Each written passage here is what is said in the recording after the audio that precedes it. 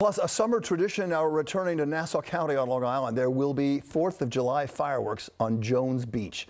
The show will begin at 9:30 on Independence Day. Fireworks included in the regular price of admission.